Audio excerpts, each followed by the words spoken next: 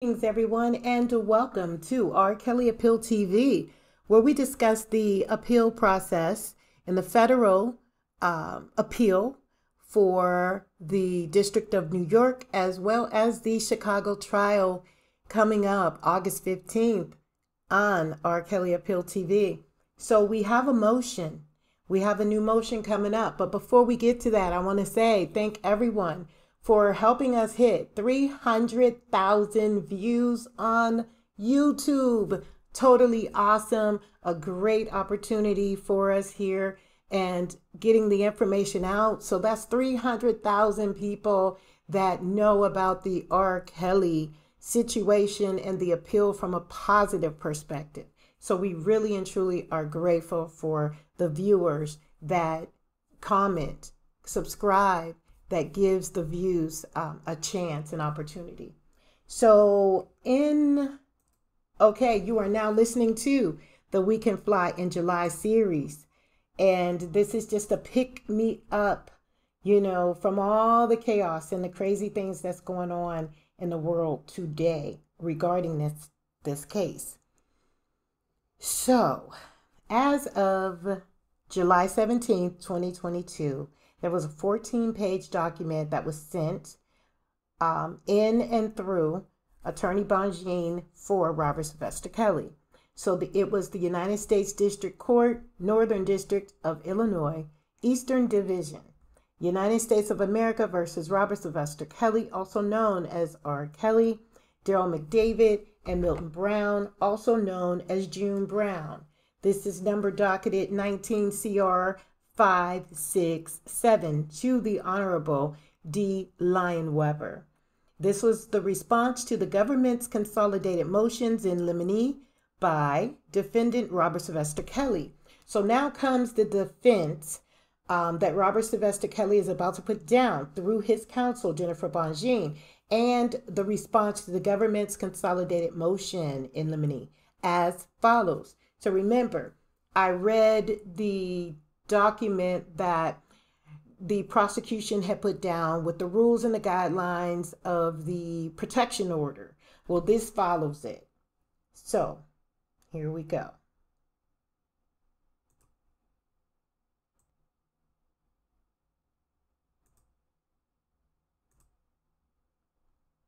The introduction says the government's 40 page consolidated motion in limine Government's motion, or the motion, consists of 16 parts, some of which attempt to prevent Mr. Kelly from effectively confronting witnesses while uh, asking this court to preclude any possibility of a fair trial by flooding the proceedings with prejudicial propensity evidence. We'll talk about that after we're done with this portion.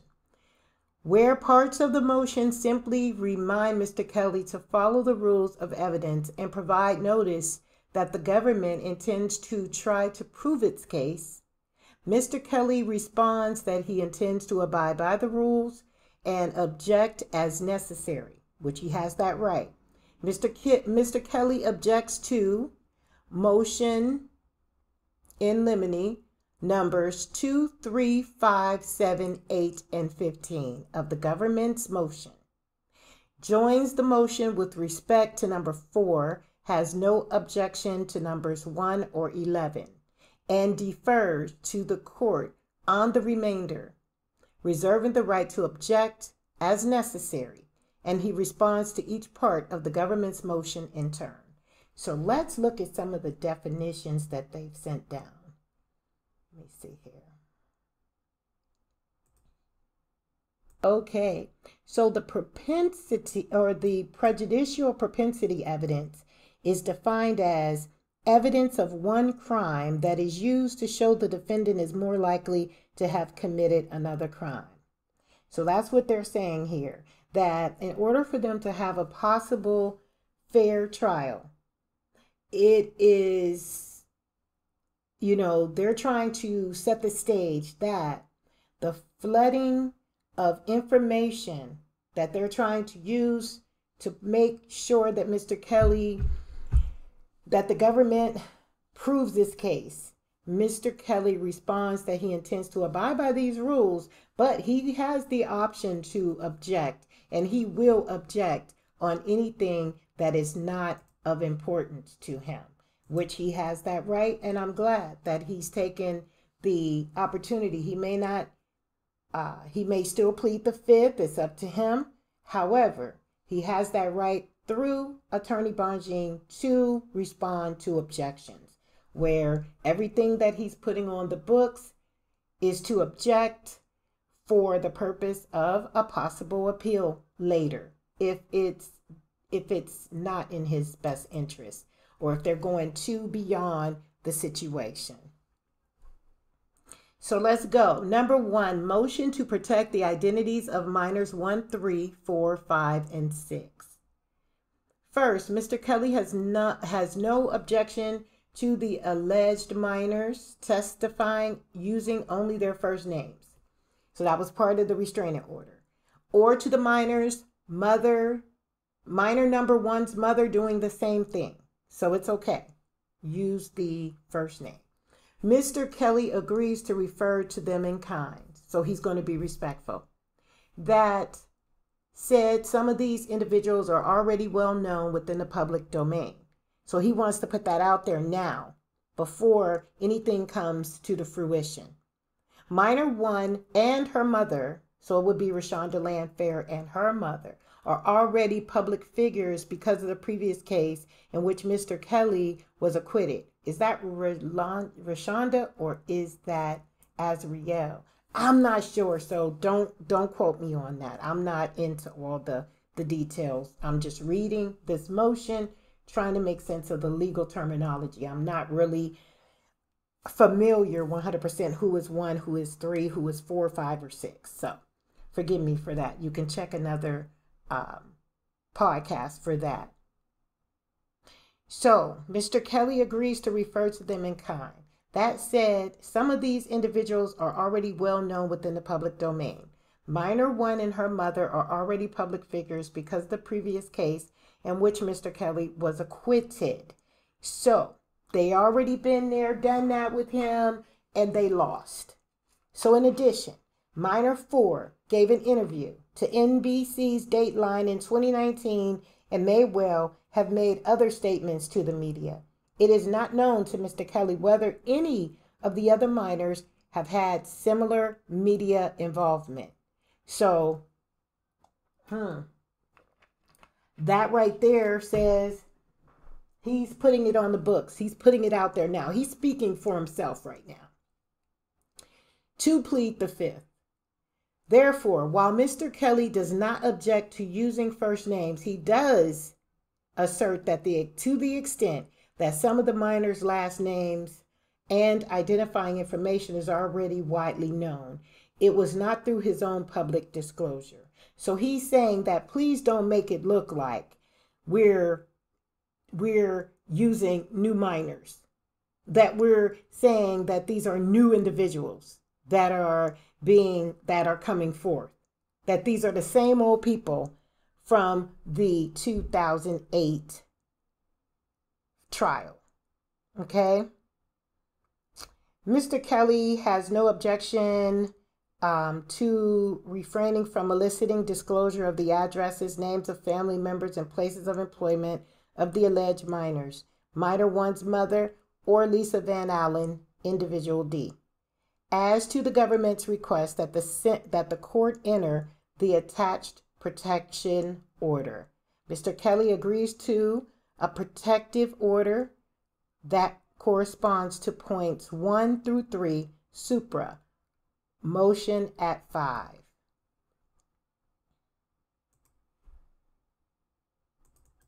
So he's protecting himself.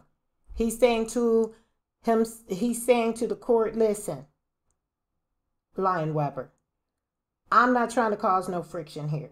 I'm not trying to sit up here and say that this is, you know, I'm accusing her or she's lying or whatever. It's just that I'm going to be able to speak my piece now before you guys contradict or flip what I have to say. Number two, motion to preclude evidence of victim sexual history. Citing to rules 412A and 403, The motion asks for an order precluding, meaning going before, defendants from eliciting on cross examination or otherwise introducing evidence or making arguments as to the sexual behavior of the victim witnesses with individuals other than Kelly or others at Kelly's discretion, at Kelly's direction, as well as any evidence of any purported sexual predisposition. Motions at 6 and 7. At the outset, Mr. Kelly has no intention of introducing any evidence of victim witnesses' sexual behavior for the purpose of establishing sexual predisposition. That said, the prior sexual behavior of the victim or victims may be relevant to questions surrounding sexual uh, consensual sex acts with Mr. Kelly when the victim witnesses were not minors. Indeed, Mr. Kelly maintains as to certain victim minors he never had sexual contact with them when they were minors. So he's getting it out of the way now. So he's telling them, listen, these people are going to sit here and try to lie to you. But I'm telling you, from my own point of view, and I'm telling you, these these people were not minors when they were sexually involved with Robert Sylvester Kelly. He's telling them this. He's putting it on the docket. Bonjean has put it out there. So now, according to Mr. Kelly, accordingly, Mr. Kelly objects to the exclusion of one, any evidence regarding sexual conduct of witnesses who are not alleged victims identified in the indictment, meaning don't bring nobody else into this situation because these people lying on me, they're not being forthcoming. They're just saying, I don't know why they're saying this stuff, but he's going to object. Any evidence that falls within the exceptions laid out in Rule 412B and 3, any exclusion based on Rule 403 that is not narrowly tailored to protect Mr. Kelly's Sixth Amendment rights, they're going to object.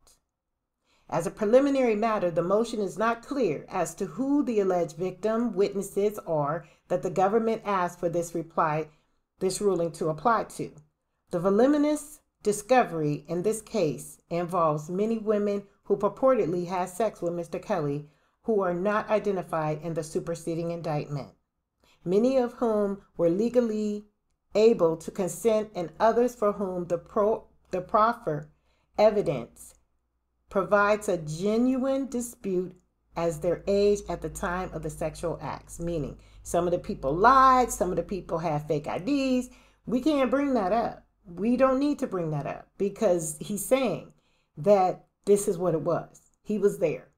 So, to the extent that the motion asks for the court to preclude cross examination or evidence regarding witnesses who are not identified in the superseding indictment, it should be squarely rejected, meaning that we're not going to give you the ammunition to point the finger at what we have on our side. We're going to let you go ahead and cross we we will cross examine the evidence regarding the witnesses that are not identified in the indictment meaning don't bring your other 48 people don't bring them from the docu series it should be squarely rejected because Rule 412's express terms apply only to the witnesses who are victims, and because the government has not explained how adult females who had consensual sex are victims. So they have a weakness. The prosecution has a big gap. Its motion in limine pertaining to evidence of other sexual conduct of these witnesses should be denied. Look up United States versus Ray, 2013, U.S. District LEXIS 202505 at asterisk 8. August 23rd, 2013. This is where they got their ruling. And if you look at that case, you'll see what they're saying in the connection to it. I'm not going to cross move it because I'm trying to get through this motion here. In addition, the government's ascertained that all evidence of sexual conduct of minor 1, 3, 4, 5, and 6 is inadmissible. under Rule 412 is unavailing. Under Rule 412B and C, evidence of specific instances of a victim's sexual behavior are admissible to prove consent and where exclusion would violate defendant's constitutional rights. Look up Federal Rule Evidence 412B and C. Now, according, courts have admitted evidence that involves sexual conduct for purposes unrelated to sexual predisposition, such as establishing that a victim lied about her age, and for arguing that allegations of sexual abuse are false based on history of making false allegations.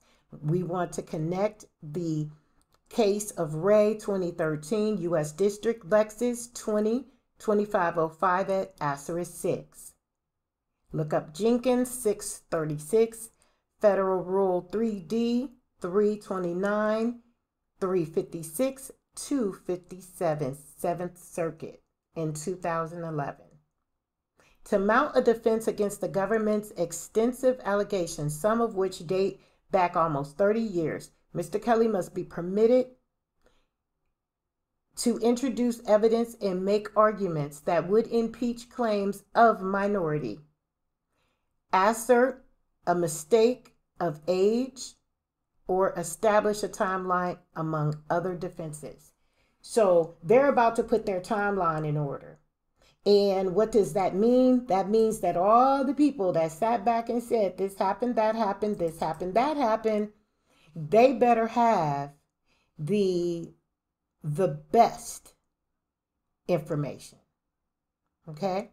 Similarly, the government's sweeping claim that any injury or evidence related to victims' sexual history should be excluded under Rule 403 is unsupported and premature. Look at the motion at 8. When evidence is relevant and otherwise admissible, exclusion should be narrowly tailored and the procedural effect of the offered evidence must substantially outweigh its probative value. So they looked up U.S. versus Hamzeh 986 FD Federal 3D 1048 7th Circuit 2021 and U.S. versus Buckner.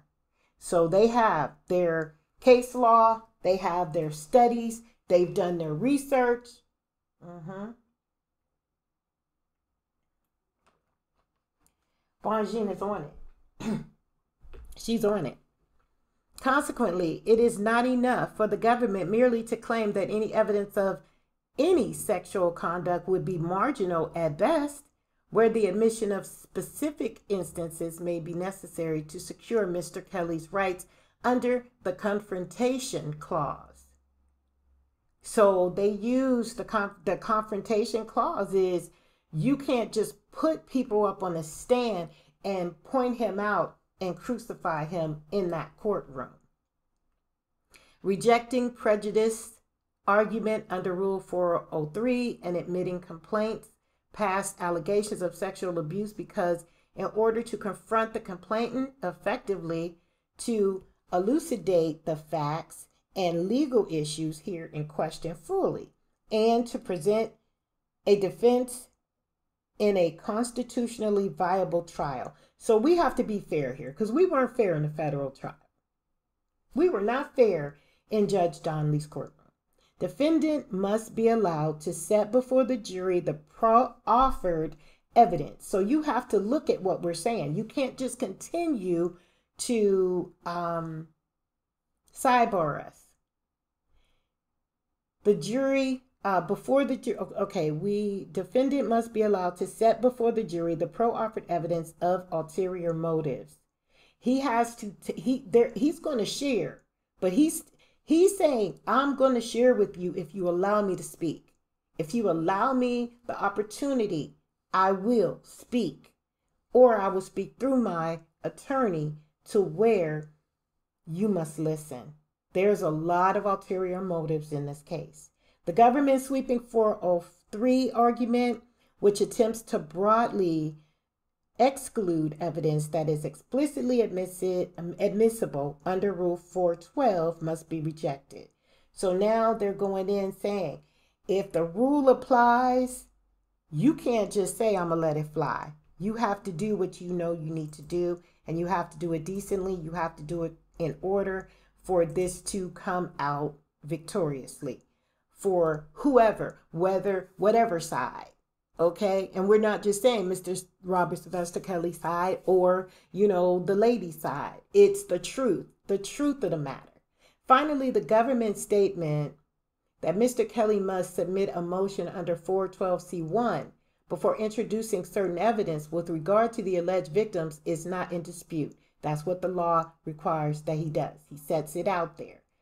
Mr. Kelly has every intention of complying with the federal rule of evidence, including 412C1, and will provide notice as required by the rules. But he's telling them to follow the rules. You set the rules, you set the stage, you set the guidelines. So you can't come in here and just sidebar me. You know, you can't do that at every turn when I'm trying to tell my side of the story because I was there. You know, he was there. Number three, motion to bar evidence and argument related to consent. By their own statements, all but one of the alleged minors had engaged in sexual relationship with Mr. Kelly while they were consenting adults. In addition, the entirety of the sexual acts charged in the superseding indictment took place between 19 and 26 years ago. The ages of the alleged minors and veracity of claims about their age at remote points in time are central important parts to the case. So much so that providing any of the alleged minors was old enough to consent would be a complete defense to all counts involving all minor alleged minors. While Mr. Kelly does not intend to argue that minors are legally able to consent to sexual acts with adults, he objects to excluding evidence and arguments relating to the consent because he cannot be precluded from arguing that the alleged minors were old enough to consent. So basically, he's saying, I have permission to do the things that I did. If I did them and if I admit to doing them, I'm going to break it down to you and tell you how it was done. Whether they had the fake IDs, whether they had the um, parental consent, whether they had those um, areas of the false IDs, that's the biggest one. That's the biggest one. Re- relatedly, Mr. Kelly objects to the government's motion to the extent it seeks to prevent Mr. Kelly from refuting the government's proof of inducement, meaning, show me your proof to prove offenses under the age of eight, under 18 U.S. Code Section 2251A and 18 U.S.C. Code 2422B. The government must prove that Mr. Kelly knowingly. Now, this is where we're at. Okay, let me see. This is where we're at. When we say knowingly, I think I was on page. see here.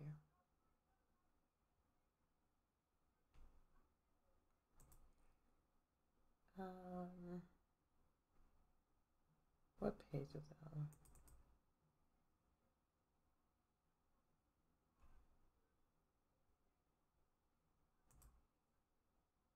Okay, so while Mr. Kelly concedes that consent is not a defense at 2251 or 2422 offenses, it is also true that sexually explicit conduct with a minor is not per se evidence of inducement.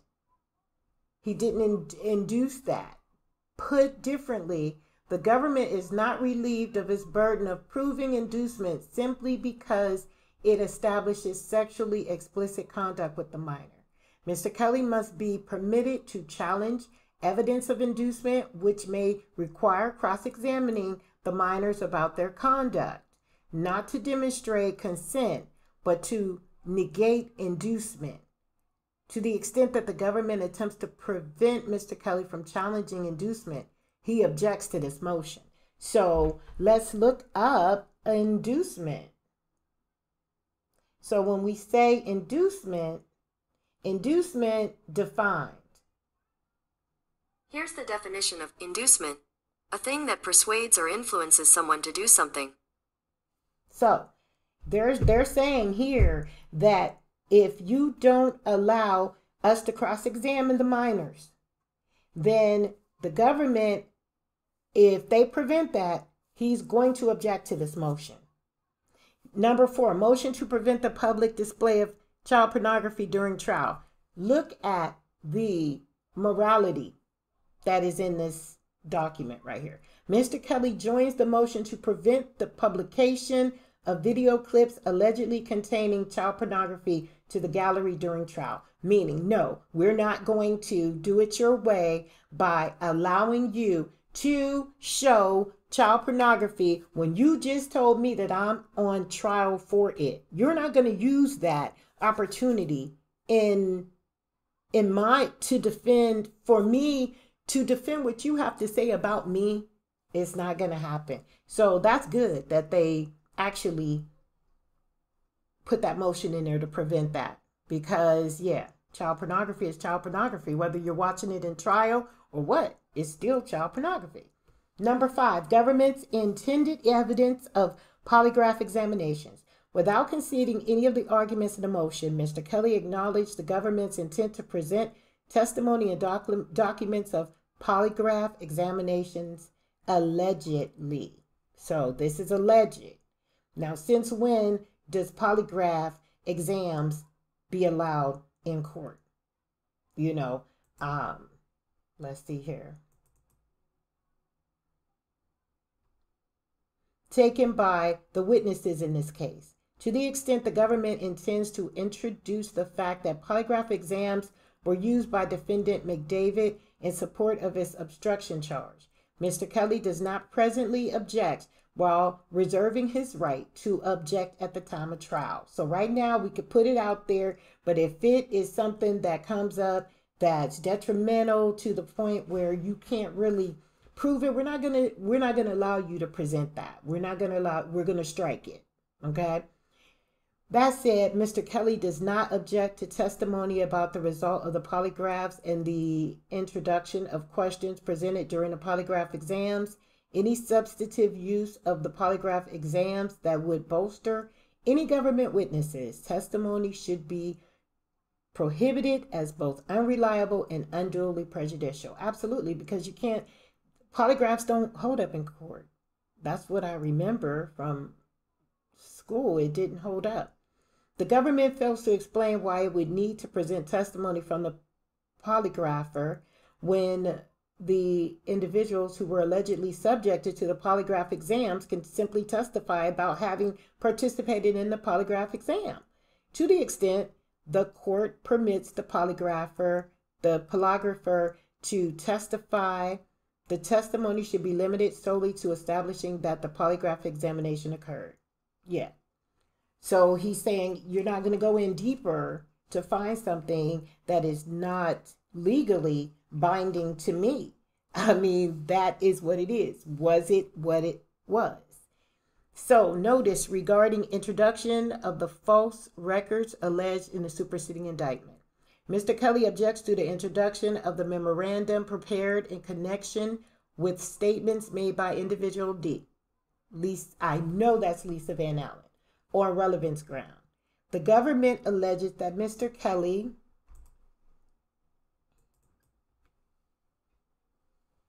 and defendant McDavid caused individual D to make a false statement to private attorneys who then memorialized those statements in some type of memorandum that was provided to the Cook County State Attorney's Office in 2008 and eventually made its way to the office of the United States Attorney. As a matter of law, this memorandum is not relevant evidence since the government has proffered no evidence that Kelly or McDavid created the memorandum or made the false statements contained in the memorandum. Mr. Ke- Kelly contends that to sustain a conspiracy to commit a violation of U.S. Code 18 um, of 1519, the government must show that Mr. Kelly or a co conspirator make the false entry or false statement. It is not sufficient to show that they persuaded another to do so. That's hearsay. Moreover, the government has pro-offered no evidence that individual D herself had any knowledge that a memorandum was being prepared in connection with her alleged statements and shared with the state prosecutors who would eventually share it with federal prosecutors more than a decade later. Now, in short, the creation of this memorandum cannot, as matter of law, constitute a false record, meaning that it was just communication, and the communication uh, went over into a a uh, memo um, uh, like a motion. They didn't know what it was going to turn into, so she was being, I guess, persuaded by Jim Dear goddess or someone. In short, the creation of this memorandum cannot, as a matter of law, constitute a false record, nor is there any evidence that suggests that it was prepared with the knowledge of any the defendants or even individual D knew about. Relatedly, Mr. Kelly objects to the introduction of any police report that allegedly contains false statements of minor one. Such evidence is irrelevant for establishing that Mr. Kelly or any co-conspirator made false entries in any record or document. As stated above, even assume the government can demonstrate that Mr. Kelly persuaded minor one to make false statements to law enforcement, such evidence would be irrelevant to the question of whether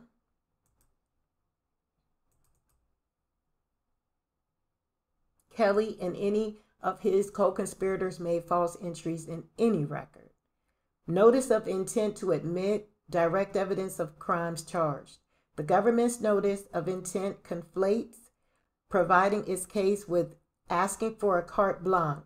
So it's asking for a immunity. And that's not good. So you're going to give them the okay to say whatever they say and it's not going to be they're not going to be charged for any of this stuff. So the notice of intent to admit direct evidence of crimes charged, the government's notice provides its case will ask for a carte blanche to introduce inflammatory evidence suggesting that Mr. Kelly had a violent and abusive character. Specifically, it plans to introduce evidence of physical, emotional, and sexual abuse of minors 1, 3, 4, 5, and 6 for purposes of showing enticement and coercion necessary for 2422B charge and as direct evidence of Supreme of um, course code 371 charge the motion 2425 of that charge. While some of this evidence might be relevant, Mr. Kelly objects to admission of any evidence that is not directly relevant to the crimes charged, meaning he is not going to he's going to object to everything that is not specifically what is on the um, on the docket. Prosecution can't bring nothing new into this. They cannot do it, or he's going to object whose probative value is substantially outweighed by danger of unfair prejudice. Look up Federal Evidence 403. Critically, the government's the government has provided a couple of examples of evidence of violence it seeks to introduce, but has failed to put Mr. Kelly on sufficient notice of what specific acts of violence it intends to offer. So he is going deep, he is going hard, he is going into everything that they say that they're going to put on the books. That's it. It won't be no surprises, nothing used as evidence that could, you know, harm him in this case, which makes sense because this is sim- similarly a double jeopardy, double jeopardy case. Allegations of acts of violence that were not intended to induce interstate travel for sex are relevant to the elements of 2422B. Similarly, acts of violence that are unrelated to the conspiracy charges are not relevant. Don't bring them up. Where minor one alleged that she had a long term relationship with Mr. Kelly, which continued for nearly 10 years after she became an adult, and for several years after she allegedly made false statements exonerating him on previous charges. Not every allegation of violence during a 15 year period will prove the elements of the code 371. See generally United States versus Ingram in 2018, U.S. District LEXIS 185-201. Excluding testimony that co-defendant participated in crime because of domestic violence by defendant where the fact did, did no, nothing where, where that fact did nothing to prove elements of armed robbery. Okay, similarly, acts of alleged abuse by Mr. Kelly are not proof of a conspiracy, and it is not convincible that every act of dating violence or other violence against the alleged victims relates to obstruction of justice. Now, in that, he's saying, I'm going to tell my part, I'm going to tell my truth, I'm going to say, well, you know, maybe we did get into a domestic situation. Maybe we did yell a little bit. Maybe, you know, we, we laid hands or, you know, but it was e- equally, you know what I mean? Expressing concerns about the relevance of specific incidents of, of violence on the part of individual co conspirators that were not evidence of concerted action in a RICO analysis.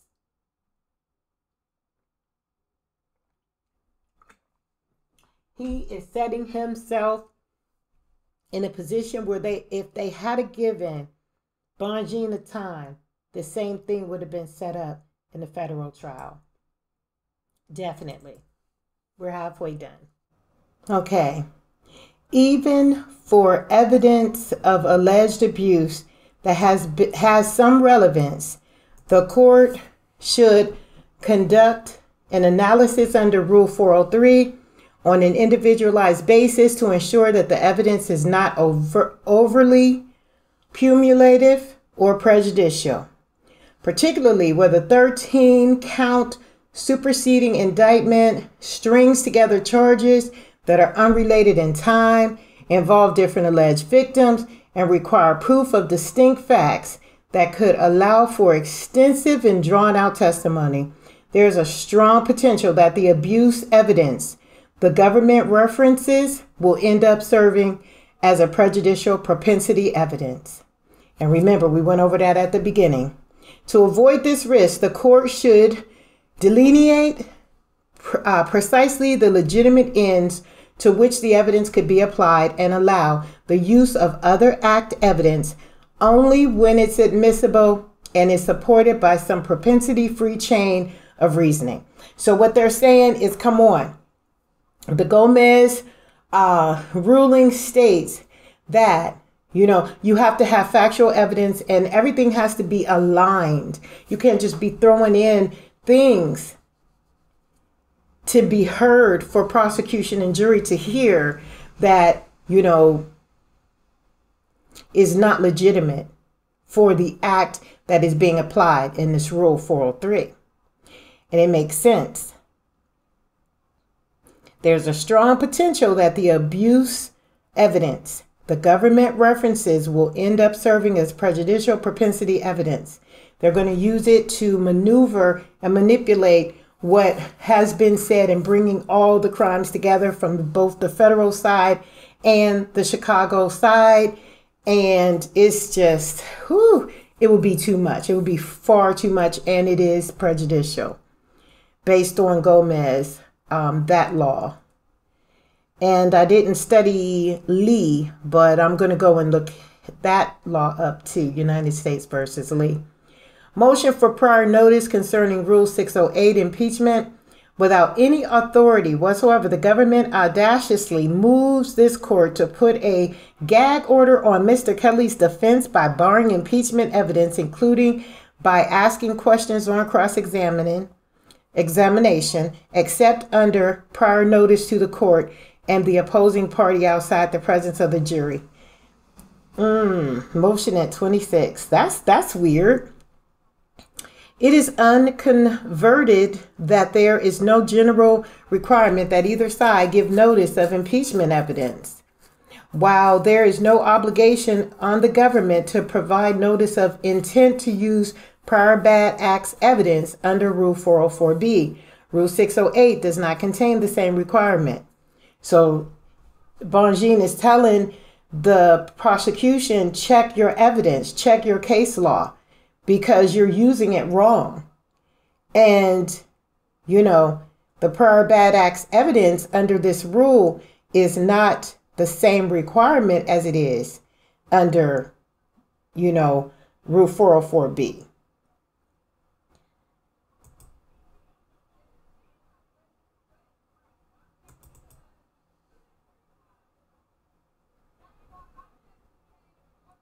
One in a line of Second Circuit cases saying no notice is required under Rule 608 or 609. So basically, they don't have to give a required notice.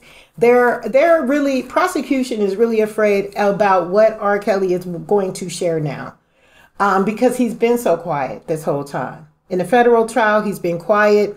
In this trial, he has Bonjean. So they want to know every move, every stick move he's going to make so they can know how to rebut that because they don't want any surprises because they know what their goal is. And it's sad before he even goes to trial. It's very sad. To defend himself, Mr. Kelly must be allowed to expose bias of government Witnesses through the use of impeachment evidence. Yeah, immunity. These people have immunity. They're not going to get punished for anything they say, even if, if there's an appeal and there is some bad act evidence that's being pro- promoted. Here is just like a witch hunt again. But Bonjean is saying no. Exposing witness bias is at the core of the confrontation right. And according to the Seventh Circuit, bias is one of the five acceptable methods of attacking the credibility of a witness's testimony. Attacking the witness's general character for truthfulness, showing that prior to trial, the witness had made statements inconsistent with his testimony, showing that the witness is biased, showing that the witness has an impaired capacity to perceive. Recall or relate the event about which he is testifying and contradicting the substance of the witness's testimony. These years have gone by so fast for R. Kelly. He wasn't, he probably wasn't even present mentally when all this stuff was going on. The admissibility of evidence attacking credibility is limited only by the relevant standard of Rule 402.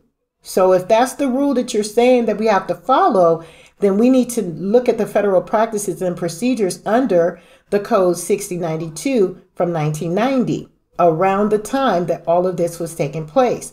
Precedents. That's his precedents. Okay?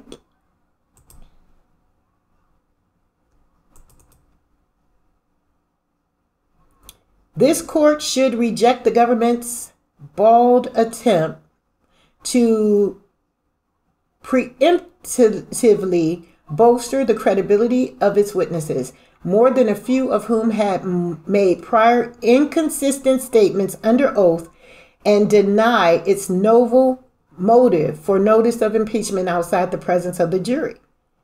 Oh, so now we're talking about okay, if you want to cross examine, let's cross examine. If you want to bring new things in, then we're going to take everything from the timeline to the uh, the impeachment, you know, or perjury that they've already announced, and they will have to re communicate, and they're not going to be able to do that communication the correct, effective way. Why? Because these things were coached over years, and now they may slip up and say something wrong. So that's why uh, Robert is saying in his motion, this is what I want. They made prior inconsistent statements under oath and denied its novel motion for notice of impeachment outside the presence of the jury. They did that without the jury knowing that that's what they had done. So, number nine, motion to preclude argument designed to elicit jury nullification. The motion asks to preclude evidence or argument that is characterizes as designed to elicit jury nullification, including that of A. Penalties faced by defendants if they are convicted, outrageous government conduct, government's motivation in prosecuting the case, and selective prosecuting. Prosecution. Selective prosecution, that is where it is straight prejudicial.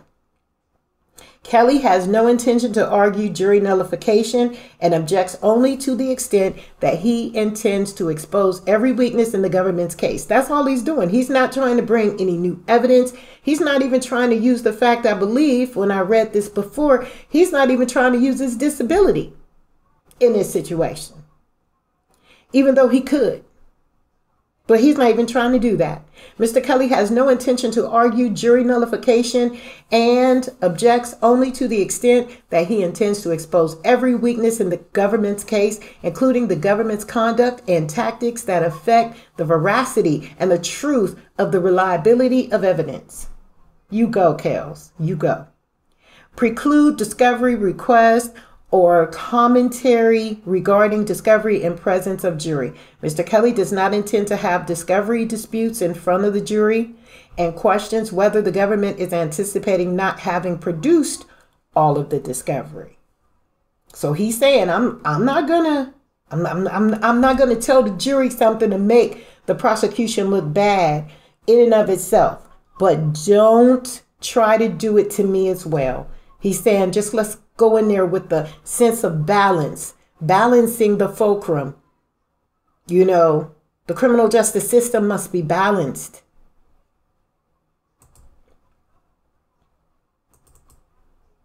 Must be balanced. Government produces undisclosed evidence at trial. Mr. Kelly's counsel cannot promise to act unsurprised, but will conduct herself appropriately. So, meaning she's going to prove and she's going to let it be known that this is new. Number 11, exclude evidence or arguments regarding the constitutionality of the statutes criminalizing the production and receipt of child pornography. Mr. Kelly has no objection. Number 12, preclude argument or evidence of defendant's non Pertinent character traits. Mr. Kelly has every intention of abiding by the federal rules of evidence and reserves the right to introduce relevant and probative evidence at trial. So he probably will talk, or Bonjean will use exhibits to show and timeline of what is really, really going on. Defendant does not intend to affirmatively introduce evidence of good character. So he's not going to try to make himself look good. He's just going to bring it right as it is, straight raw. 13. Preclude defense of alibi, unavailability, and mental defect. With regard to alibi evidence under Rule 12.1, it is currently impossible for Mr. Kelly to provide an alibi because the government's allegations identified almost no specific date and span at least 20 years. So good, he's not going to perjure himself by trying to make himself look good with the oldest approximation placed somewhere in the mid 90s. If it becomes clear at trial that Mr. Kelly has an alibi defense, he will very well raise it. So if it jogs his memory and he goes back and says, Oh, dude was there with me. Oh, I remember da da da da da. I remember, you know, doing a, a video with Kirk Franklin and he was in the in, in, in the room at a certain time, you know, or whatever. At this juncture, it is not possible for Mr. Kelly to provide notice of an alibi when he himself has no notice of the times or dates he may have one for. Mr. Kelly is not planning to raise mental defect under Rule 12.2, so he's not trying to do anything to make himself look totally good. It's just, it is what it is. And number 14, preclude defense counsel from defining term reasonable doubt. Mr. Kelly has no response to this motion and states that he is represented by experienced. Okay, now, all right, come on with it. Experienced, experienced counsel who will represent him competently. So he don't have to use the fact that he's mentally challenged. Bonjean got him. 15. Allow government to recall case agent during case in chief. Mr. Kelly objects to the government's open ended motion to episodically recall its own investigator.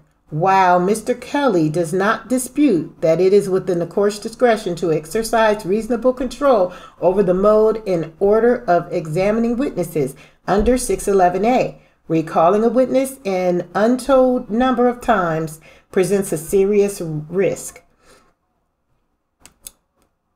prejudicial overemphasis on the witnesses, credibility, and undue lengthening of the trial. So, you know, let's not draw this out. Let's get right to the point. You know what I'm saying? Don't try to, if I'm not trying to make myself look good, then don't try to make your people look like they're straight victims. Okay, let's keep it real. Acknowledging the risk is that one side is given an unfair opportunity to strengthen its case as well as perhaps unduly emphasize certain testimony when a witness is recalled. Consequently, Mr. Kelly objects to the government's motion and asks that the court use its discretion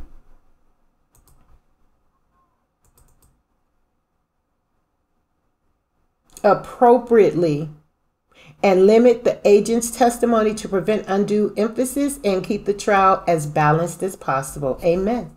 That's all we're asking. And 16, admit business records.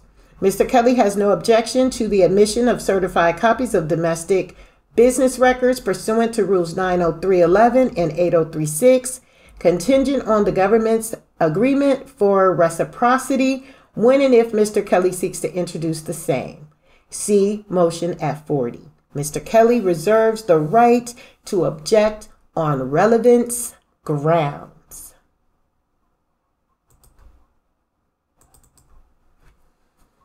Conclusion. For the foregoing reasons, defendant seeks an order from this court denying numbers 2, 3, 5, 7, 8, and 15 of the government's motion and granting the motion with respect to number four, respectfully submitted Jennifer Bonjean, Bonjean Law Group, PLLC, 750 Lexington Avenue, 9th floor, New York, New York, 10022, 715 875 1850. And that is the motion. And I wish I could make this live. I wish this could have went live, but it was just too much information. And what I want to say to you all is that I'm telling you, there is going to be the light at the end of the tunnel. It's coming. It's coming. It's coming. Because the majority of things that were involved in this was the setup. This was the ultimate setup. But we're okay now. We're here. There was something I wanted to leave you all with. Oh, this Sunday, we will take the re- remaining portion of questions, comments, anything you have to feel after you have listened to this motion hearing, after the um, prosecution put out the, or not the prosecution, but uh, um, Judge Leinenweber when he put out the protective order, which was, of course, induced by the prosecution. There's a lot that had to go with this. So, right now, I do believe that R. Kelly is coming out of his unmuteness, and that's a good possibility that even if he does not speak, Bonjean knows it all. So there's everything in it. He's not even trying to glorify himself. He's not even trying to point the finger and say, but they lied on me. They lied on me. And you know, there's a time and there's a place when things happen. It's just like the story of Joseph and his brothers and how they they put that that lie to his father and told their father that Joseph was dead, but it took Joseph to go to a whole another country or another location and for those same brothers who tried to kill him, he was victoriously uplifted. And in this victorious upliftment, he ended up having to feed and take care and employ those who lied against him, who disrespected him. And on top of that, when we're in that position, do we say, Oh, that's a liar over there oh, she did me wrong. Do R. Kelly do all that? Do he does does Robert Sylvester Kelly now need to do all that, even though he has had many who have went against him? Okay, even look at the crucifixion. You know? These people lied. These people lied again. And again, a public display of nakedness, embarrassment, turmoil, rebuke mental illness. And this shows how people in society treat the powers that be treat basic everyday people. If they can do this to their own. Well, but God can go either anyone. So this is the reason why I'm bringing this up and putting the motions on. Um, I think this was a good position, and we'll sit back and we'll figure out what's going on with the uh, with the motions. Now this Sunday, the um, let me see here. When will I be back on live? I'm gonna go live this Sunday, July the 31st, and we're gonna have responses from this motion since this is not live. It was too long and I needed to stay focused. So um, we're going to have some questions, some Q&As on some opinions on that from my chat box. And thank you all again for 300,000 views. That means that 300,000 more people know something more about Robert Sylvester Kelly whether they've been tainted by social media or what, they know to come to the R. Kelly Appeal TV for some reason. So I really and truly thank everyone for that. Please hit the like button and please share the videos so that other people will know that it exists, you know. Um, and I will also um, be doing a backstory to the R. Kelly Appeal channel. I don't know what I'm going to put on it, um, but it will be a um, intimate conversation about the producer of the R. Kelly Appeal TV. So um, it won't be more or less part of the appeal or the or the Chicago trial. So I, if you are not interested, you know, surely you can find another channel and I'd be grateful that you just come through with the with the appeal portion.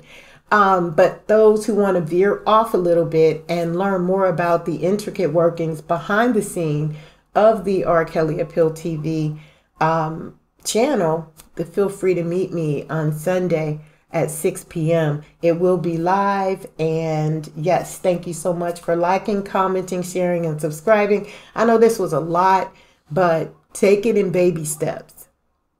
And just know that R. Kelly's attorney and the group and the attorneys that is going to be working with him on the Chicago trial is giving us some hope over here at R. Kelly Appeal TV. And for all the supporters, hope is what we need. Thank you so much. God bless you. You stay safe. And as always, keep it 100. And we will see you next time.